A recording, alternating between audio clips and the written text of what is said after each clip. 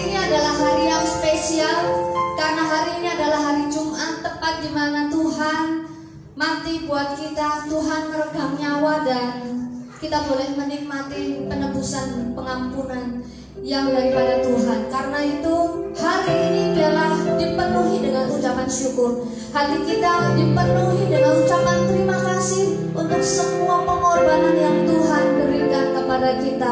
Untuk pengorbanannya, untuk penderitaannya,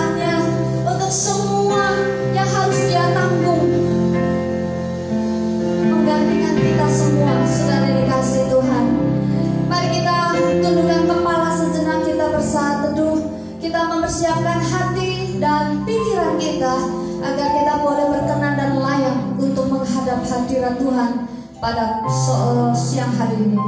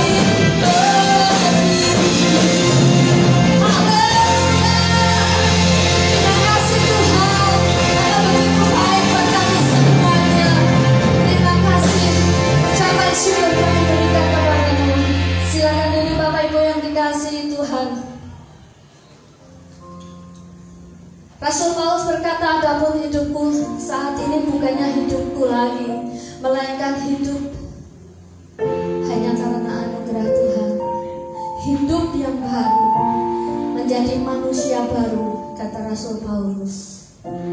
Hanya orang-orang yang mau menyerahkan dirinya, menyerahkan hidupnya di tangan Tuhan yang akan bisa menjadi manusia baru setiap hari. Tetapi kalau kita tidak memberikannya, Tuhan tidak akan menjadi penjunan buat kita karena kita masih menginginkan dipimpin oleh diri kita sendiri. Tapi kalau kita mau hidup kita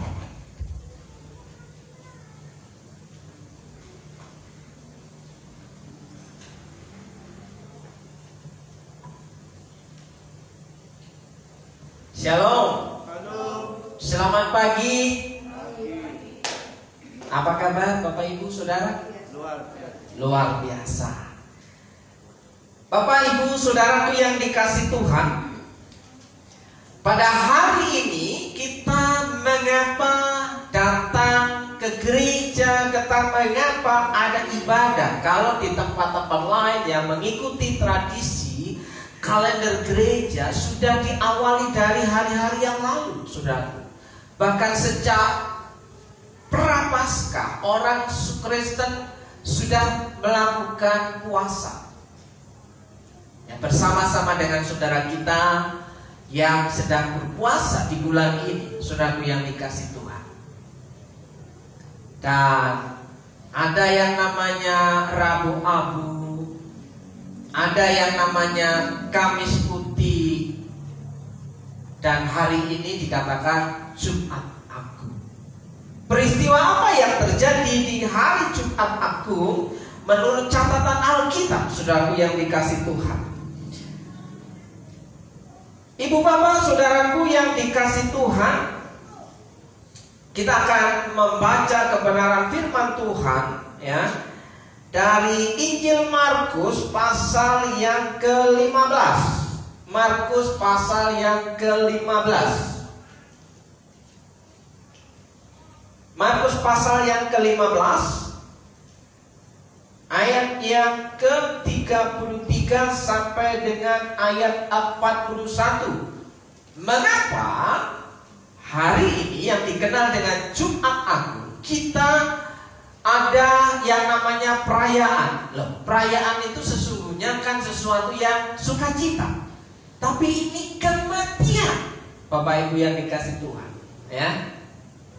Ada orang mati, ada orang meninggal, disuruh merayakannya, ya. Suruh sukacita.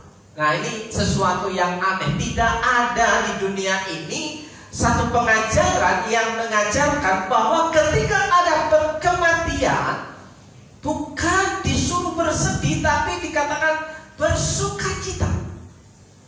Ya, pasti ada alasannya, Bapak Saudara. Markus pasal 15 ayat yang ke-33 Lembaga Alkitab Indonesia menjadi memberi judul Yesus mati jadi jangan ragu, jangan malu kalau bahwa Yesus Kristus itu memang pernah mati. Bukan tidak mati, memang harus mati, gitu kan? Kita akan membaca Bapak Ibu, saya membaca ayat yang ganjil, Bapak Ibu Saudara membaca ayat yang genap ayat ke-33 Firman Tuhan berkata demikian, pada jam 12 kegelapan meliputi seluruh daerah itu dan berlangsung sampai jam 3.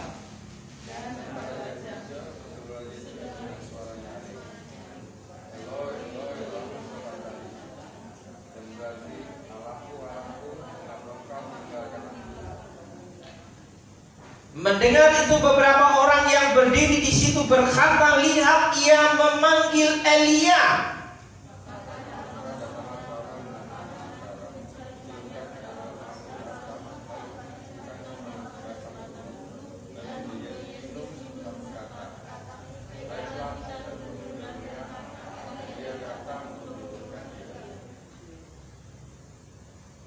Lalu berserlah Yesus dengan suara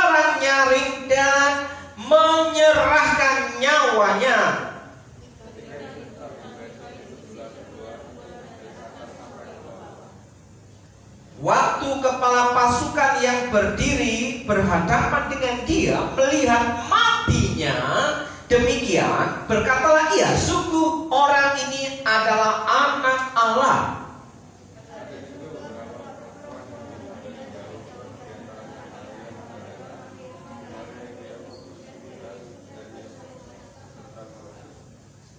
Kita baca bersama-sama ayat 41, 1, 2, 3.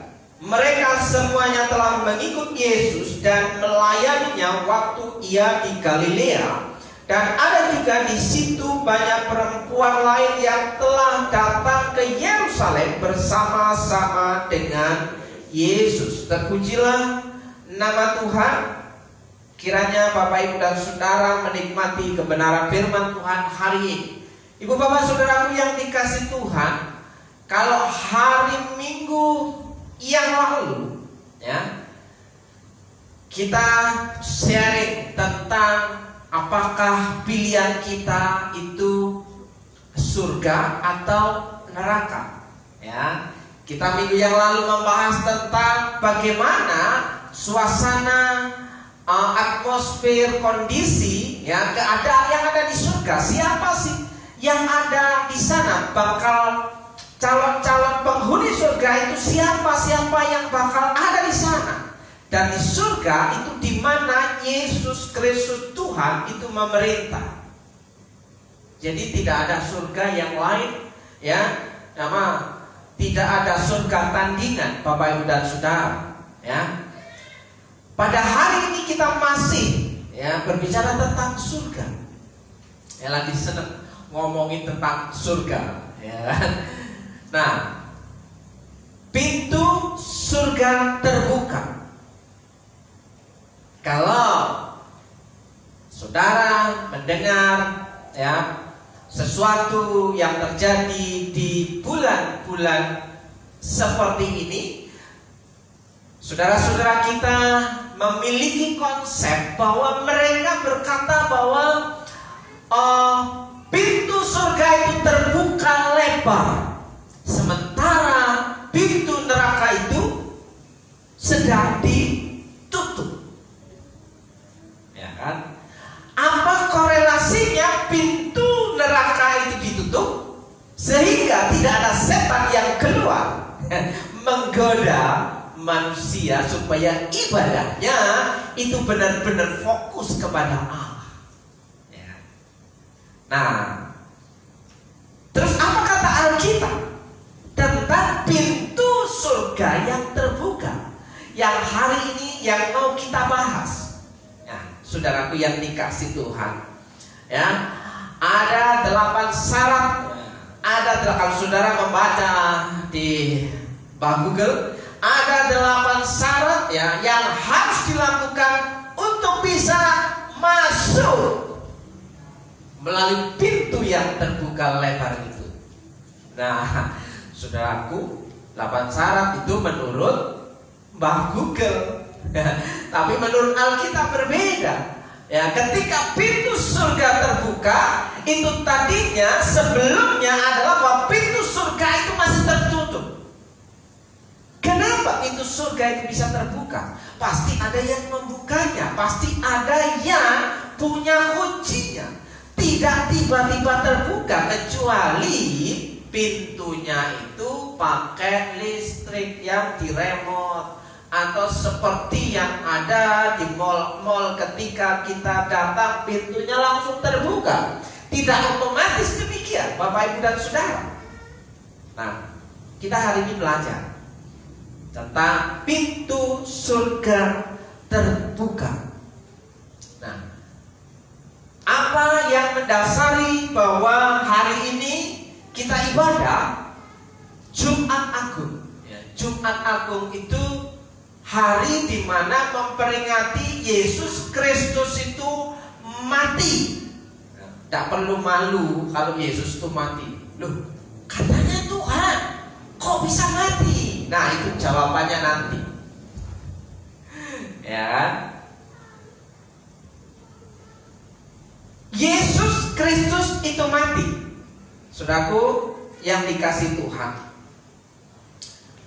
Perhatikan baik-baik bahwa korban penebusan itu yang bisa dilakukan memang harus ada kematian.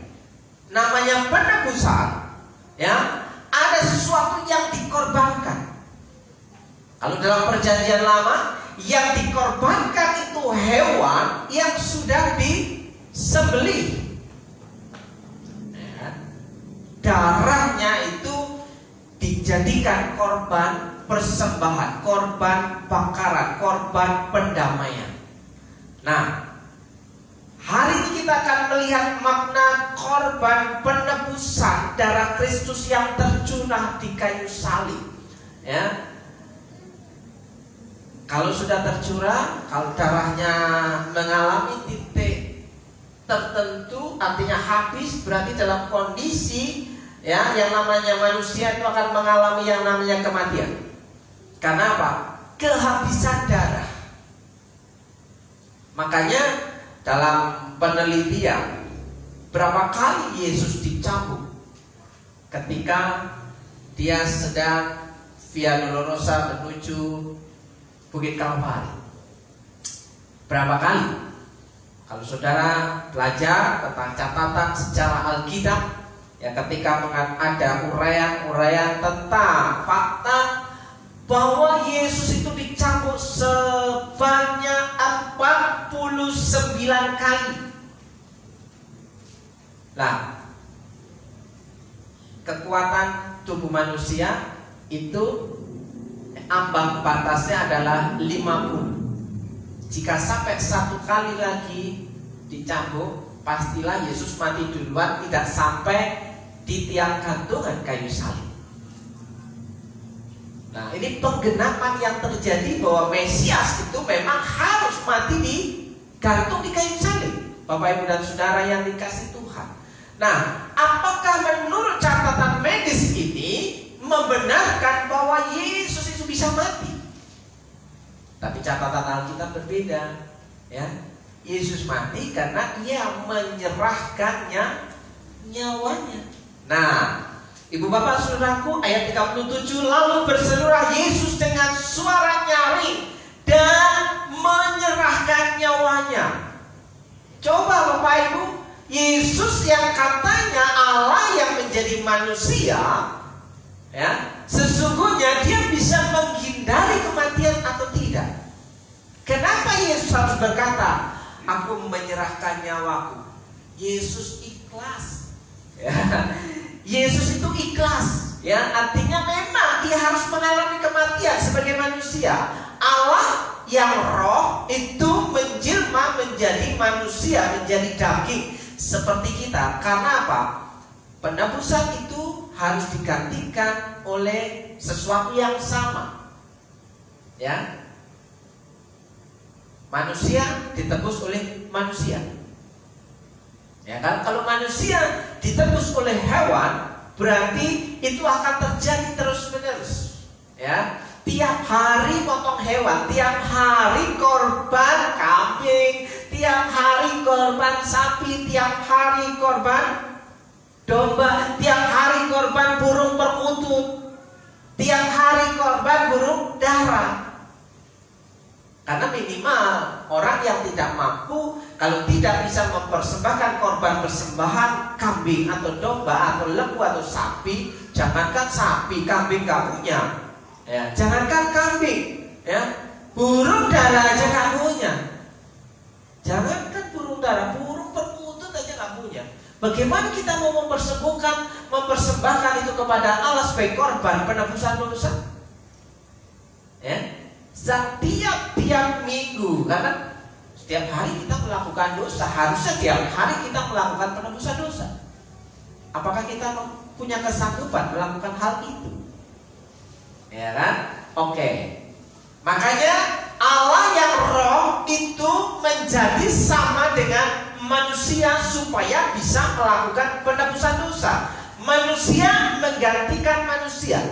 Ya dengan suara nyaring dan menyerahkan nyawanya. Jadi dengan kata lain Yesus mati karena dia memang mau mati. Kalau dia nggak mau mati, maka dia masih akan tetap hidup. Ya kan?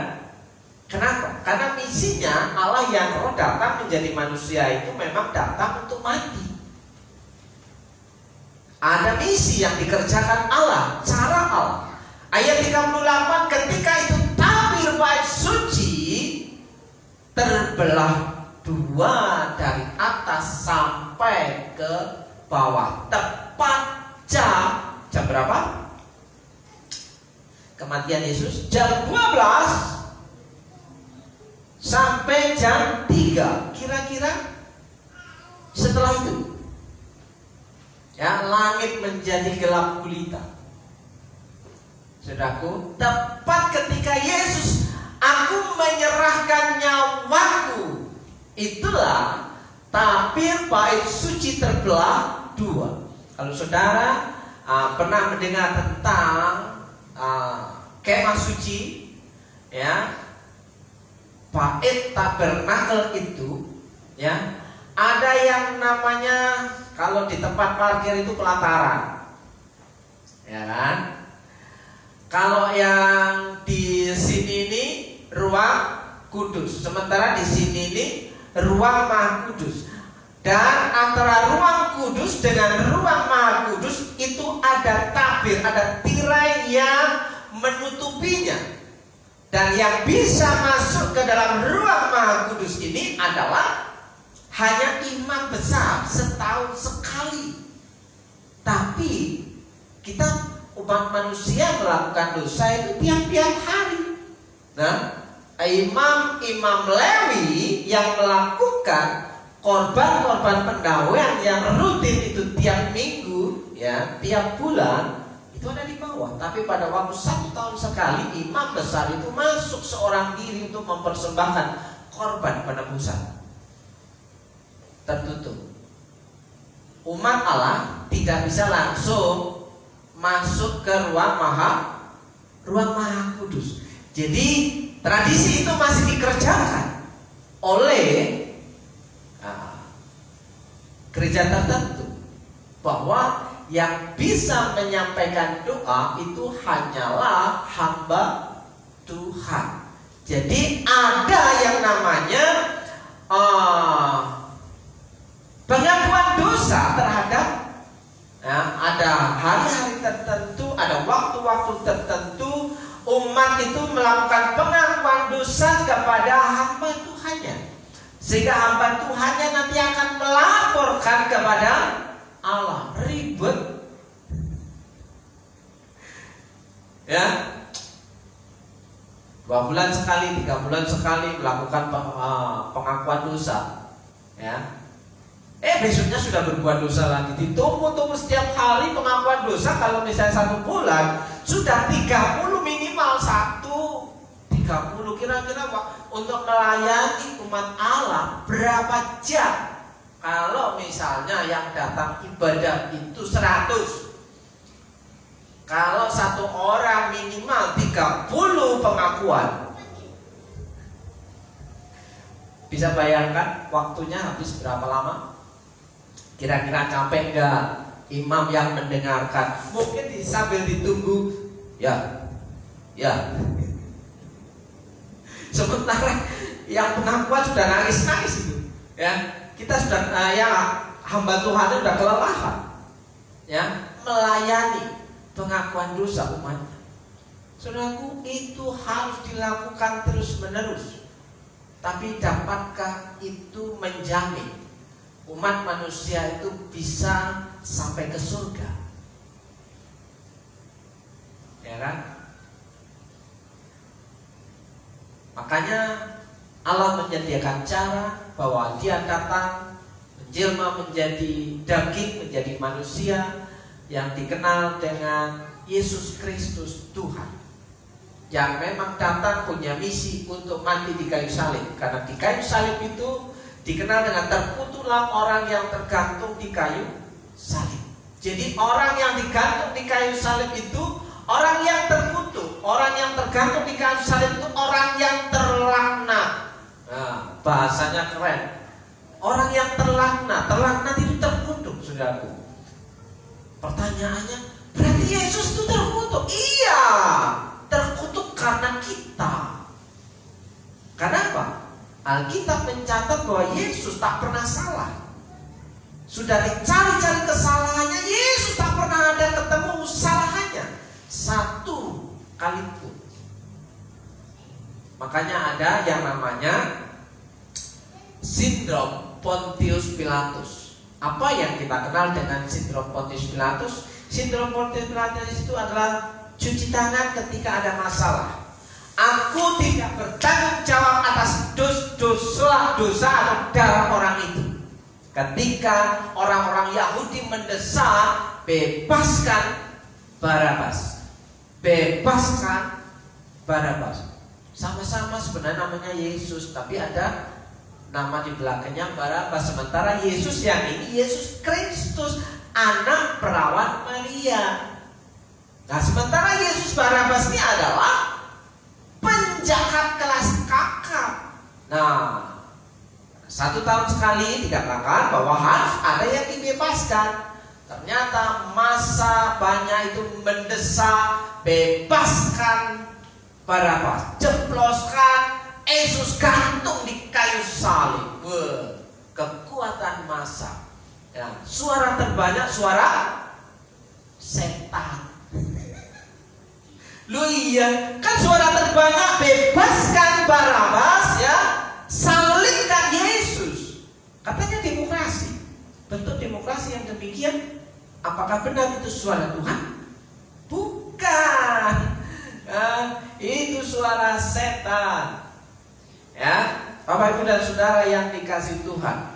Karena yang harus dibebaskan yang tidak bersalah Yesus Kristus anak perawan Maria ternyata Pontius Pilatus melakukan cuci tangan. Ya. Dia bersilat lidah bersilat kata. Aku tidak bertanggung jawab atas darah Yesus Kristus ini. Silakan. Wah silakan. Akhirnya diambil keputusan lah. Padahal keputusan itu ada di tangan Pontius Pilatus untuk membebaskannya. Dia melakukan cuci tangan. Nah, secara hukum itu tidak pas. Secara hukum adalah bahwa apa yang dikatakan Pontius Pilatus itu adalah ketok palu bahwa Pontius Pilatus menyalibkan Yesus Kristus dan membebaskan Barabas. Bukan atas dasar juga karena desakan orang Yahudi yang banyak itu, ya. Karena Pontius Pilatus pemegang untuk otoritas. Nah, ibu bapak saudara yang dikasih Tuhan, di situlah ketika Yesus di kayu salib, Yesus berkata, kuserahkan nyawaku, ya kan? Maka di situ terbelah dua dari atas sampai ke bawah. Catatan dalam kitab Keluaran pasal yang ke-26 ayat 30. Kemudian haruslah kau dirikan kemah suci. Gambaran kemah suci, gambaran uh, yang terjadi pada awal-awal umat Allah ya.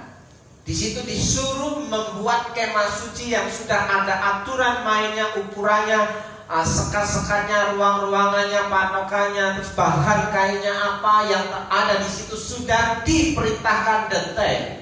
Di sini haruslah kau buat tabir dari kain ungu tua. Jadi ada tabir tirai kain ungu tua antara ruang kudus dan ruang maha kudus dan kain ungu muda, kain kirmisi dan lenan halus yang dipintal benangnya Bapak Ibu bisa bayangkan kira-kira pengeluaran untuk membuat kain kain ini kira-kira butuh dana banyak atau dana sedikit. Kalau seandainya tiap-tiap gereja, tiap-tiap rumah ibadah harus memasak tirai itu, ya kan? Kain ungu tua, ya. kain ungu muda, kain kirmisi dan lenan halus dipintal benangnya harus dibuat dengan adat geruknya buatan ahli tenun pesanan khusus bukan yang diobral kain yang diobral-obral itu yang murahan itu bukan buatan khusus saudaraku. Ya, haruslah engkau menggantungkannya pada empat tiang dari kayu penaga yang disalib dengan emas. Ada lapisan emas ya di tiang kayunya. Dengan ada kaitannya dari emas berdasarkan empat alas perak. Sudah ada emasnya, ada peraknya. Nanti saudara bisa baca di kitab Wahyu. Bapak Ibu, ada batu jaspis, ya kan? Ada batu kecubung, ya kan? Wah ada batu-batu permata yang mahal-mahal itu. Ya. Haruslah tabir itu kau gantungkan pada kaitan penyambung tenda itu dan haruslah kau bawa tabut hukum ke sana. Di dalam kemah suci itu ada tabut Allah. Tabut Allah itu menandakan bahwa Allah hadir di situ. Dan hukumnya Orang tidak bisa melihat Allah secara langsung. Ya, barang siapa yang bisa melihat Allah secara langsung dikatakan ia akan mati. Karena apa? Orang berdosa. Ke belakang tabir itu sehingga tabir itu menjadi pemisah bagimu antara tempat kudus dan tempat maha kudus. Tabir tirai itu yang ada di bait Allah itu penanda pemisah antara tempat kudus dan tempat maha kudus. Saudaraku, tempat umat dan tempatnya imam besar di mana yang harus menghadap Allah. Nah, itu Bapak Saudaraku yang dikasih Tuhan, tabir bait Allah ini ketika Yesus menyerahkan nyawanya kepada Bapa di surga, Ya, catatan Alkitab demikian. Ketika Yesus berkata demikian dan matilah ia, maka terbelahlah itu menjadi dua sampai ke bawah. Dari atas sampai ke bawah. Artinya apa?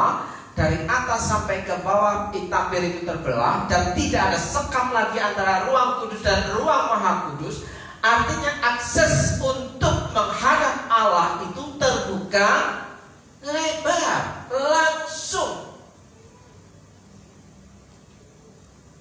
Ya. Umat dengan Tuhan Allah itu aksesnya bisa langsung, tidak ada sekat lagi. Nah, siapakah yang membuka sekat ini? Siapakah yang membuka tabir ini? Ya, ketika tabir terbelah menjadi dua, antara ruang kudus dan ruang maha kudus tidak ada sekatnya, maka di situ pintu surga ter terbuka. Yang tadinya masih tertutup, tidak sembarangan orang bisa masuk surga. Nah, ibu bapak saudaraku yang dikasih Tuhan, satu-satunya manusia selain Yesus yang bisa punya akses untuk bisa masuk surga yaitu adalah Rasul Yohanes. Catatan Alkitab, semua nabi-nabi yang ada di Alkitab ya ada yang bisa melihat surga tapi tidak bisa masuk adalah yang namanya Rasul Yohanes. Kalau ada orang-orang yang berkata dia pernah ke surga, itu pembohong besar. Karena satu-satunya catatan Alkitab, nabi-nabi besar aja tidak dikasih keistimewaan bisa masuk surga. Tapi di sini Rasul Yohanes diberikan hak istimewa untuk marilah, ya, datanglah kemari. Saudaraku yang dikasih Tuhan. Kita akan melihat. Pintu surga terbuka bagi kita itu artinya apa? Pintu ada pintu peluang, ada pintu kesempatan. Ketika tabir terbelah, tidak ada sekat antara ruang kudus dan ruang maha kudus. Kita punya pintu kesempatan untuk bisa masuk surga.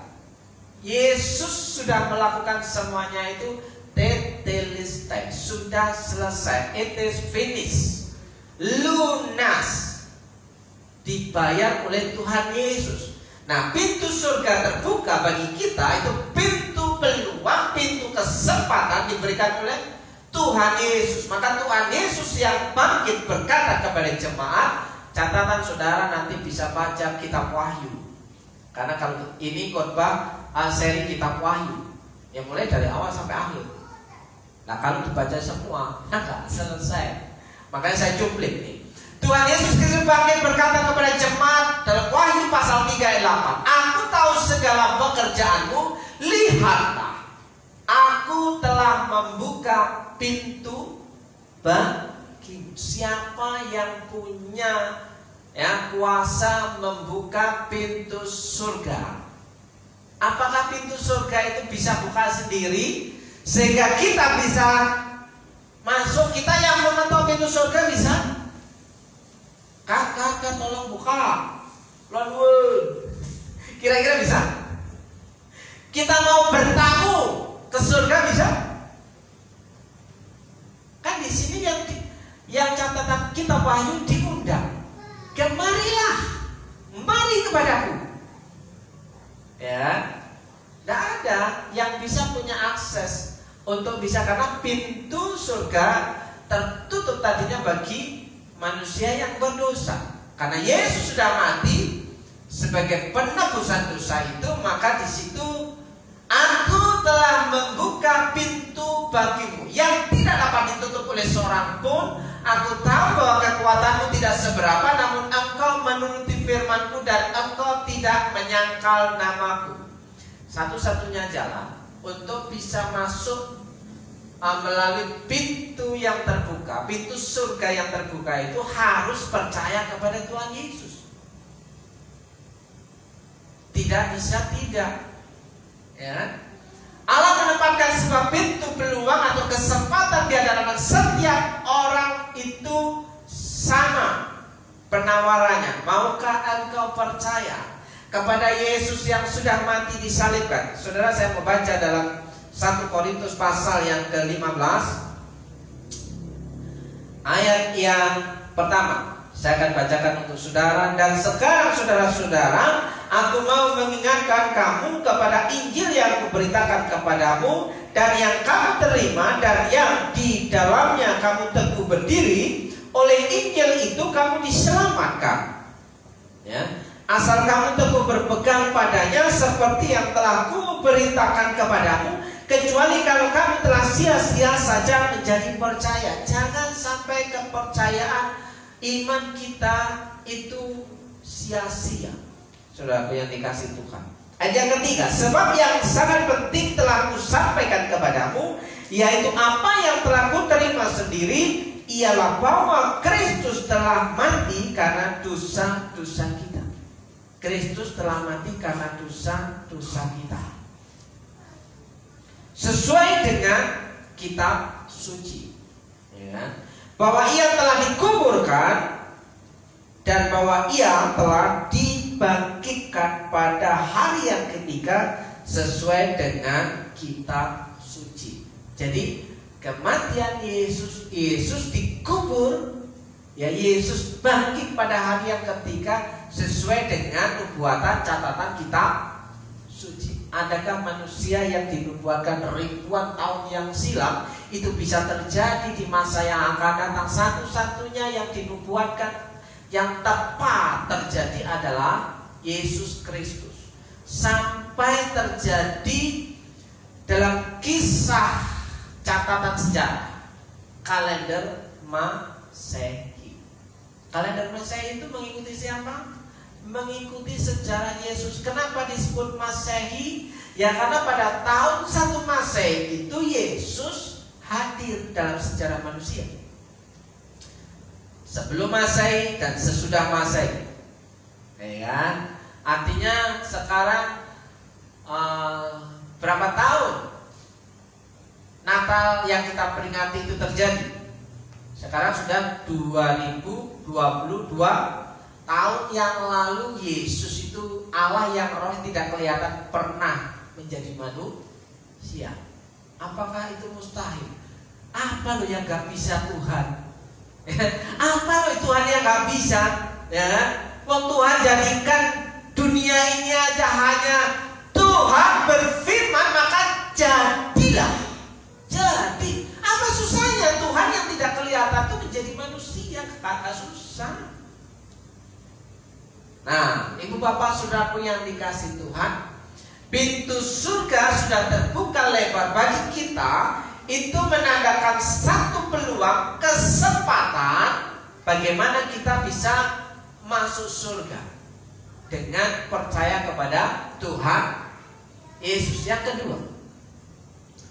Ya, Pintu hati manusia atau pintu hati jemaat Tuhan itu yang harus bertindak di sini.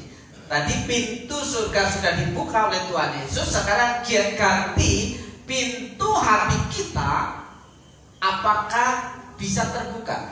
Tuhan Yesus Kristus yang bangkit berkata, "Lihat, aku berdiri di muka pintu dan mengetok." Pintu surga sudah dibuka, giliran sekarang yang kedua Tuhan Yesus berdiri di muka pintu hati kita masing-masing dan mengetok, maukah engkau percaya? Maukah engkau percaya? Banyak orang ingin masuk surga, tapi banyak orang salah jalan. Kenapa? Lawang lewat pintu mana? Wong pintunya pada waktu itu masih ditutup. Nah, giliran pintunya sudah dibuka, Tuhan mengajak kita masuk ke sana. Nah, saudaraku yang dikasih Tuhan. Jika ada orang yang mendengar suaraku dan membukakan pintu, aku akan masuk mendapatkannya dan aku akan makan bersama-sama dengan dia dan ia bersama-sama dengan aku. Pintu hati kita dibuka menerima Tuhan sebagai Tuhan dan juru selamat dalam kehidupan kita, dia memerintah sebagai raja. Kalau dia memerintah sebagai raja, apa yang dikatakannya kita kerjakan. Karena titah raja itu hukumnya wajib. Mana ada raja itu yang pagi berkata A, terus nanti sore keputusannya udah berubah. Ada? Ada nggak? Gak ada. Sekali A sampai sore ya A dan itu harus terlaksana. Sumpah ibarat sumpah. Perkataan raja itu harus terjadi. Maka di sini lihat aku berdiri di muka pintu dan mengetok. Apakah hari ini kita mau membuka pintu hati kita untuk Tuhan Yesus masuk? Untuk Tuhan Yesus tinggal bersama-sama dengan kita. Kalau faktanya surga nanti itu ada Tuhan Yesus ya, dan kita ada bersama dengan Tuhan Yesus, ya kita dikatakan di sini makan bersama-sama dengan Dia dan Ia bersama-sama dengan aku. Arti makan ya di surga ini nggak makan makanan jasmani. Artinya kita terpuaskan Saudaraku yang dikasih Tuhan Tinggal bersama dengan Tuhan. Setiap orang diketuk pintu hatinya oleh tangan yang berlubang paku itu. Dan ia dapat membuka atau menolak untuk membuka.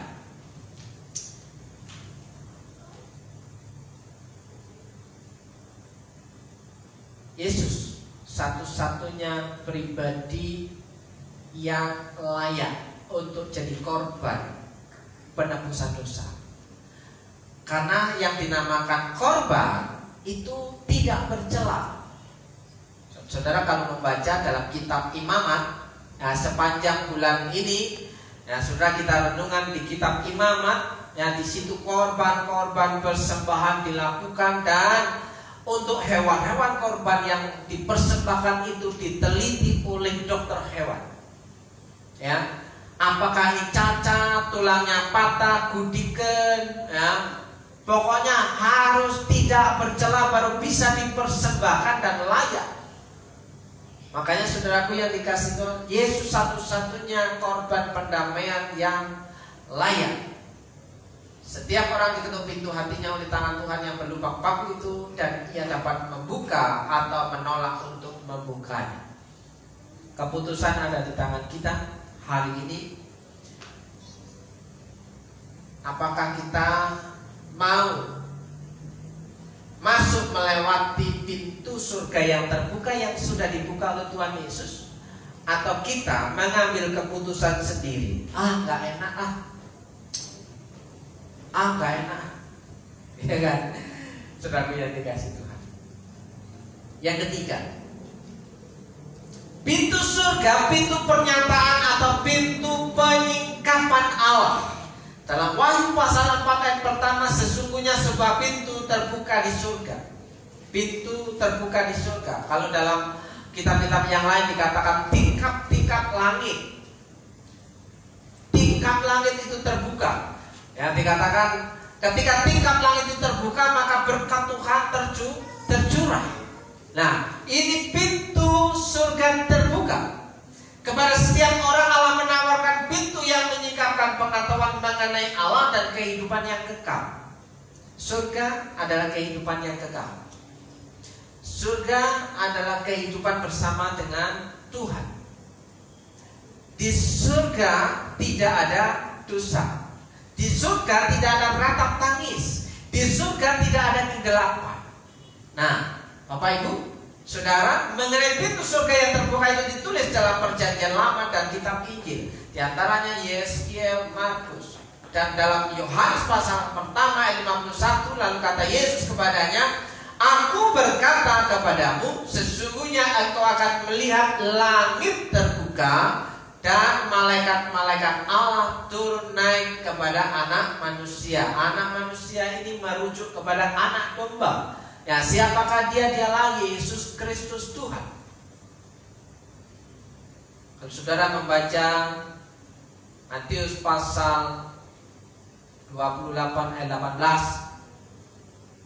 saudara akan melihat di sana siapakah yang berkuasa di bumi dan di surga. Siapakah yang berkuasa di bumi dan di surga? Saudaraku yang dikasih Tuhan. Kalau yang punya kuasa di bumi dan di surga itu namanya Yesus Kristus, berarti Yesus Kristus itu siapa? Yang punya kuasa di bumi dan di surga. Nah, ini kayaknya belum merasa yakin Bapak Ibu dan Saudara Saya akan bacakan dalam Matius pasal ke-28 ayat yang ke-18 ayat yang ke-18 Yesus mendekati mereka dan berkata kepadaku telah diberikan segala kuasa di surga dan di bumi. Kepadaku telah diberikan kuasa di surga dan di bumi. Siapakah dia? Isa bin Maria. Ma Isa anak perawan Maria yang punya kuasa di bumi dan di surga. Berarti dia adalah siapa? Harus yakin. Kalau yang punya kuasa di bumi dan di surga, di surga dan di bumi itu adalah Allah Tuhan. Nah, Bapak Ibu dan Saudara yang dikasih Tuhan, di situ malaikat-malaikat turun naik melayani anak manusia yang punya surga dan yang punya bumi. Nah, surga dan bumi. Pintu masuk ke dalam kehadiran ke dalam hadirat Allah. Satu-satunya saya mau katakan pada hari ini Ya, Yohanes 14 ayat ke-6 kata Yesus kepadanya, "Akulah jalan dan kebenaran dan hidup." Jalan untuk bisa masuk ke dalam pintu itu adalah Yesus Kristus. Akulah jalan, akulah kebenaran, akulah hidup. Tidak ada seorang pun yang datang kepada Bapa kalau tidak melalui aku. Dan kepada ketujuh jemaat yang ada di kitab Wahyu dikatakan Yesus Yohanes menakutkan siapa bertelinga hendaklah yang mendengarkan apa yang dikatakan Roh kepada jemaat-jemaat. Inilah panggilan itu yaitu memperhatikan Yesus dan mendengarkan perkataan Roh. Dalam lima surat yang ditunjukkan kepada jemaat di kitab Wahyu, Yesus berkata, "Bertobatlah." Tidak disuruh minta ampun kan? Yesus ngomongnya bertobatlah. Sebelum Yesus ngomong, Yohanes berkata, bertobatlah sebab kerajaan Allah sudah dekat. Tidak disuruh minta ampun, disuruh bertobat. Bertobat itu berbalik arah. Yang tadinya ke sini, berbalik arah itu berapa? Kalau bertobat itu berbalik arah berapa derajat? Berapa pak? Eh? Bukan 360 oh. Jadi namanya bertobat itu 180 derajat Muternya begini Jadi banyak orang itu bertobatnya kebablasan ya bertobatnya bukan 180 tapi 360 Wis ngene tapi tahu harus ini. Orang itu bertobat, ya kan? Itu artinya ketika Yesus berkata kita mendengar tapi kita nggak melakukannya, itu bertobatnya 360 derajat bukan 180 derajat. Yesus berkata bertobatlah. Kalau ngomong bertobat ini pahit, sakit, tadinya aduh. Aduh gitu kan. Mau marah. Ketika ingat Tuhan bertobatlah. Aduh gitu kan. Aduh wes pengen muncrat ya kan. Tapi ketika ingat firman Tuhan perjuangan pertentangan dalam hati ya kan? Saudaraku pernah nggak saudara marah? Ya marah itu dalam marah tingkat tinggi. Nah, sampai tangan saudara gemetar tapi saudara nggak bisa mukul orangnya. Apa yang terjadi? Hah? tembok yang tidak salah pun bisa kena pukul. Yang kalau kita normal kita nggak mau mukulin tembok tapi ketika sudah puncak amarahnya karena nggak bisa mukul orangnya tembok yang keras itu dipukul. Kalau nggak ada tembok kursi. Kalau nggak ada kursi meja. Kalau nggak ada meja pintu. Tapi ketika mendengar firman Tuhan aduh nggak jadi. Sudah pernah nggak lakukan? Lo kalau saya pernah ngalami, ya saya jujur. Siapa yang nggak pernah marah sampai puncaknya? Ya, nanti kalau dipukul, ah, ambles. Ya kan coy? ya, bertobatlah. Oke, fakta surga dalam Alkitab. Allah ada, Allah itu duduk di tahtanya. Jadi di surga ada Allah ada yang duduk di tahtanya. Jadi ketika kita kita mau masuk surga jangan main-main kalau di surga itu ada banyak makanan. Nah, kalau kita mau menghadap presiden masa yang kita cari kulkas? Kalau kita mau menghadap presiden yang kita cari dapur istana, kan kita mau menghadap presiden. Jadi yang kita cari adalah presiden. Nah, tidak sembarangan ketika kita masuk untuk berjumpa dengan presiden. Ada protokolnya, protokol protokoler, ya kan? Kalau presiden nggak suruh makan, ya kita nggak berani makan. Kalau presidennya makannya cuma uh, satu sendok, dua sendok dia sudah selesai, masa kita mau habis? Kira-kira bisa nggak? Nah itu kondisi ketika kita uh, mau masuk uh, surga. Ketika kita mau menghadap tahta Allah anak domba itu yang duduk di tahtanya Ya faktanya Allah ada. Allah memerintah raja di atas segala raja. Loh kita berhadapan di atas Allah raja di atas segala raja ya nggak bisa sembarangan nggak bisa gelewean juga kan? Ya kira-kira bisa nggak? Mana lagi serius nih. Pada yang lain-lain pembesar-pembesar ada di semuanya. Ya, kita celelean sendiri. Kira-kira bisa nggak? Anda bisa. Oke. Allah bercahaya, Allah terang, akulah terang. Makanya di surga itu tidak ada kegelapan. Karena Allah sumbernya, eh, sumber terang itu adalah Allah. Tidak ada malam di sana. Ya, jadi nggak ada ngantuk. Loh, Pak Mine sudah latihan kan? Nggak tidur berhari-hari. Nah, tenang, udah latihan. Nanti di surga nggak ada ngantuk, nggak ada tidur.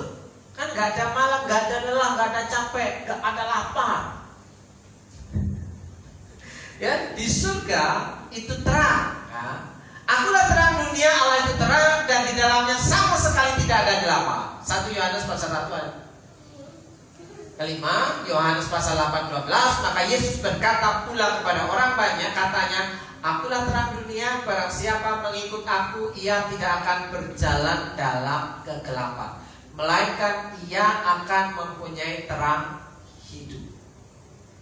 Hari-hari ini faktanya banyak orang gelap mata, banyak orang tidak memiliki terang yang terangnya, jalan yang terang yang bisa dilewatinya, tapi di sini Yesus menawarkan, barang siapa yang mau mengikut dia, dialah terang dunia. Ya, ia tidak akan berjalan dalam kegelapan, melainkan ia akan mempunyai terang hidup. Kenapa?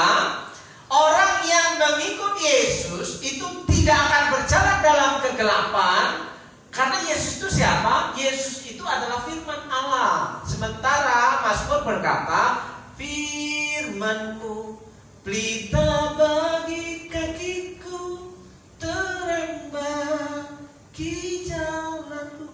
Perjanjian lama dengan perjanjian baru itu sejalan. Ya kenapa firman itu terang bagi jalan kita? Siapakah terang yang sesungguhnya? Ya Yesus berkata akulah terang. Sementara di surga tidak ada gelapan karena sumber terang adalah Ye Yesus. Nah saudaraku yang dikasih pelajaran ia akan mempunyai terang hidup. Allah setia. Fakta Allah itu setia. Allah setia sekali diucapkan pasti tergenapi. Ya. Barang siapa yang mau mengikut aku, dia tidak akan berjalan dalam kegelapan, dikatakan. Ya, ia akan mempunyai terang hidup. Ini tidak akan diingkari oleh Tuhan Yesus karena ia setia dengan janjinya. Kalau mungkin kita melihat berita-berita yang terjadi hari-hari ini, Bapak Ibu dan Saudara yang dikasih Tuhan, ada banyak orang mengalami jalan yang gelap. Ya, ada banyak orang mengalami kebuntuan dalam hidupnya. Ada banyak orang mengalami kegelisahan. Karena apa? Dia tidak tahu jalan yang terang itu. Dan di sini Yesus menawarkan, akulah terang dunia. Mari kita datang kepada Tuhan Yesus. Karena Tuhan Yesus itu Allah yang setia. Allah yang disembah. 24 tua-tua tersungkur di sekitar tahta Allah dan memimpin penyembahan kepada Allah dengan melemparkan mahkotanya di hadapannya ya ada leader penyembahan praise and worship di surga. Kudus kudus Tuhan. Kudus namamu. Semuanya tersungkur wah merinding. Di surga happy. Ya. Iya. Gak mikirin waduh nanti bayar cicilan. Oh gak ada Ya, karena proyek itu sudah dikerjakan oleh Tuhan Yesus. Ya, aduh nanti makan apa? Oh nggak ada, karena di surga nggak akan lapar. Waduh lampunya belum dihidupin. Oh nggak ada, karena di surga terang selamanya.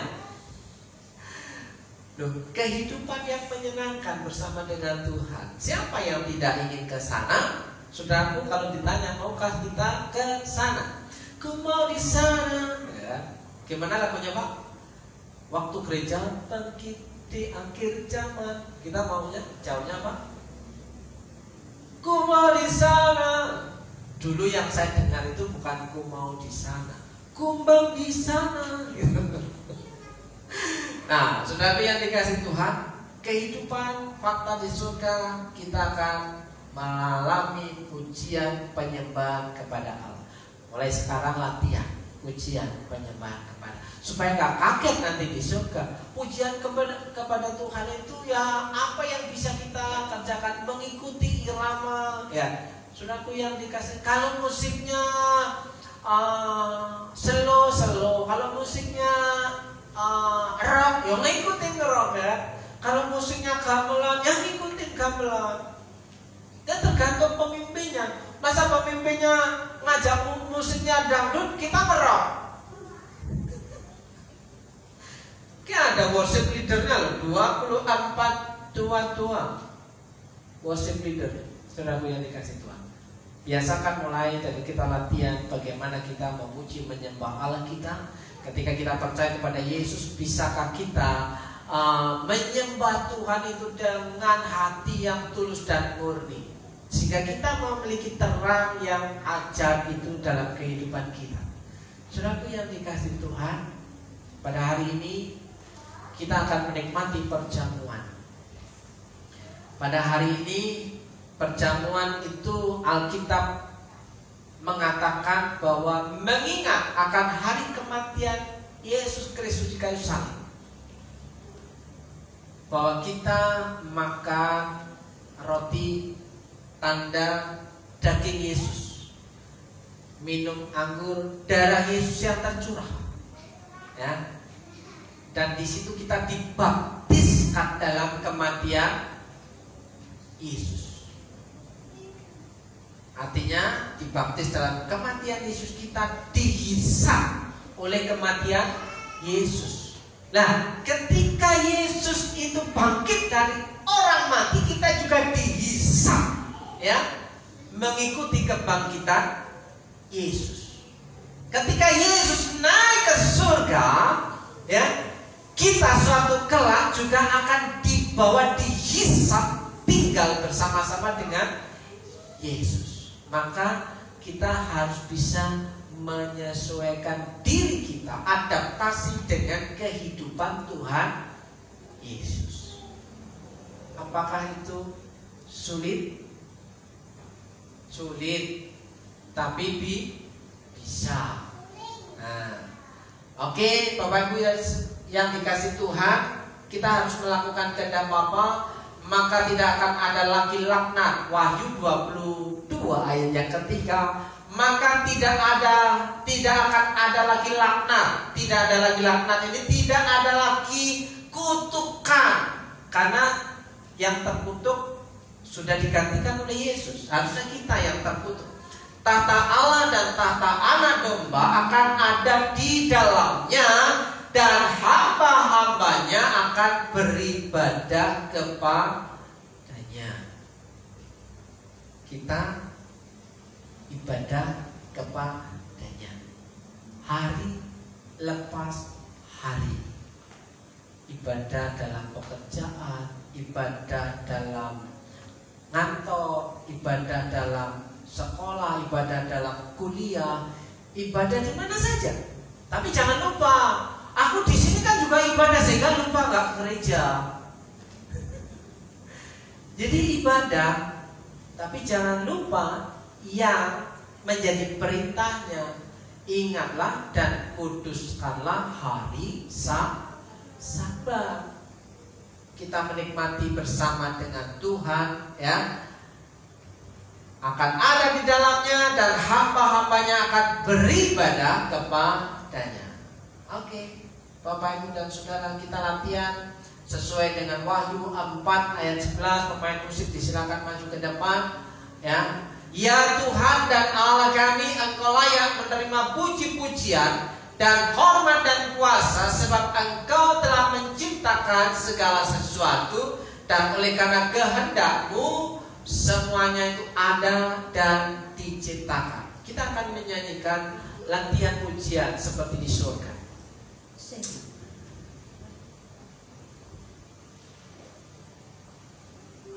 Sambil mempersiapkan untuk menikmati perjamuan Tuhan.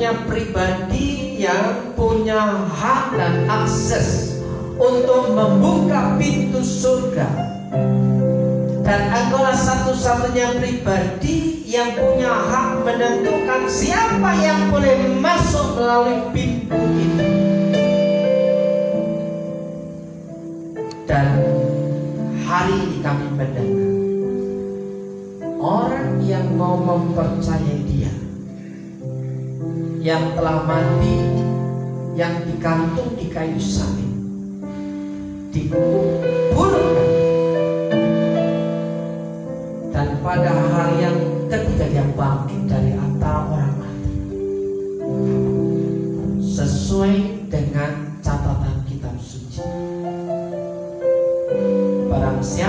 yang percaya dalam nama dikatakan ia adalah anak-anak.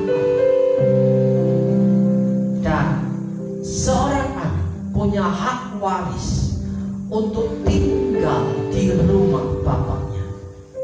Hari ini saudaraku yang dikasih Tuhan.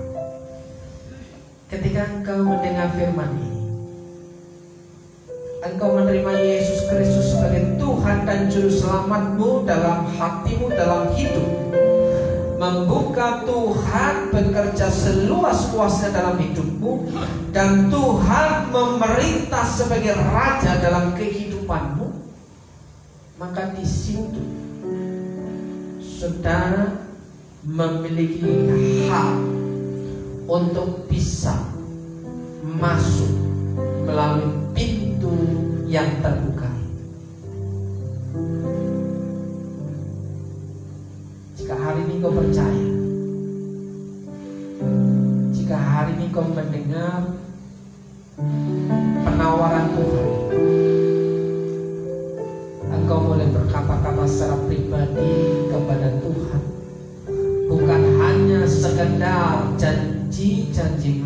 Kepada Tuhan, tapi benar-benar sungguh Tuhan saya butuh Engkau. Tuhan saya butuh Engkau. Selama satu menit silakan saudara berdoa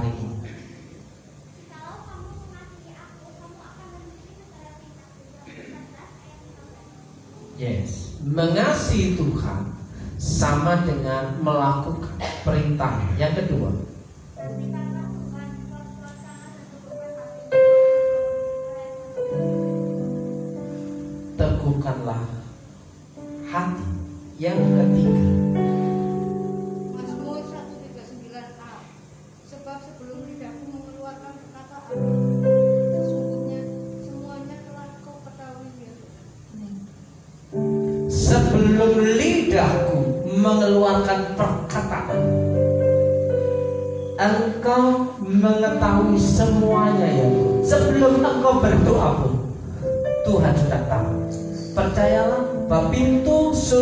sudah terbuka, tingkap langit itu sudah terbuka, dan Tuhan siap untuk mencurahkan berkatnya kepada saudara semua yang percaya hari ini. Saudaraku yang dikasih Tuhan, kita angkat tinggi-tinggi di atas kepala roti yang sudah kita terima.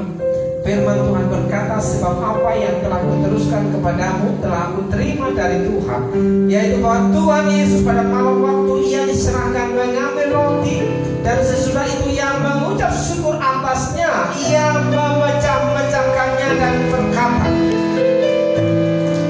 Inilah tubuhku yang diserahkan bagi kamu perbuatlah ini menjadi peringatan akan aku. Percayakah saudara akan hal ini? Terimalah dan makanlah dengan iman sebagai tanda persekutuan dalam tubuh Kristus dalam nama Tuhan Yesus Kristus. Maka haleluya.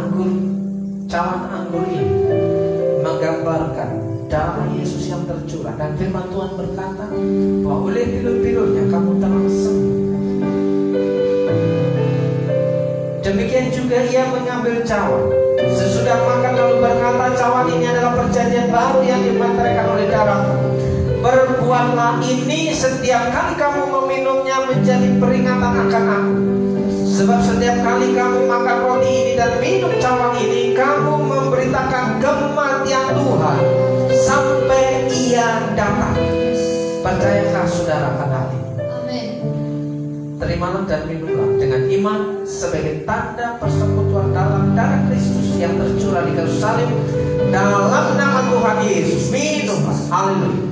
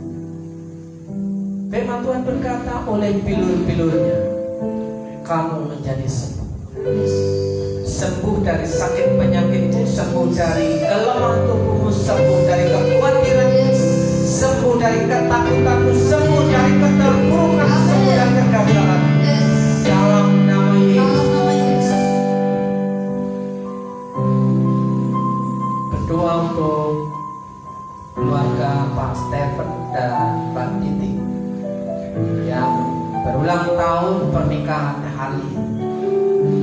Kiranya Tuhan memberkati rumah tanggamu, memberkati keluargamu, memberkati anak-anakmu, memberkati usahamu. Dan dituntun Tuhan untuk tetap setia dan jadi berkat bagi banyak orang. Dalam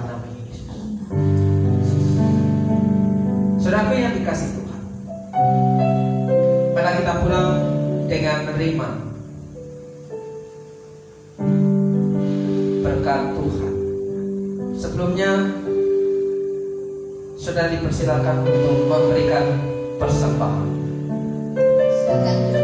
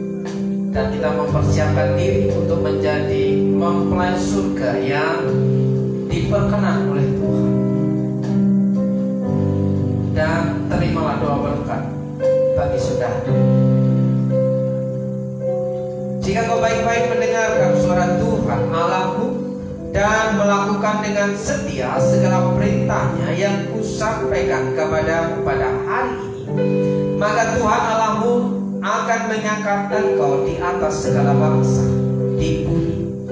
Segala berkat ini akan datang kepadamu dan menjadi bagianmu jika engkau mendengarkan suara Tuhan Allah. Dalam berkat nama Yesus Tuhan memberkati engkau.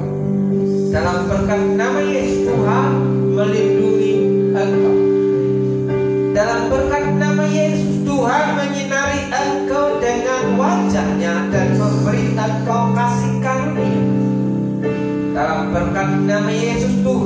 Tuhan menghadapkan wajahnya kepadamu dan memberi engkau damai sejahtera. Dalam nama Yesus Tuhan memberkati engkau, Tuhan memberkati rumah tanggamu, Tuhan memberkati pasangan, Tuhan memberkati suamimu, istrimu, dan anak-anak dalam berkat nama Yesus.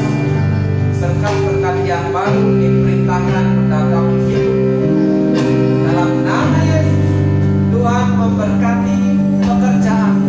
usahamu,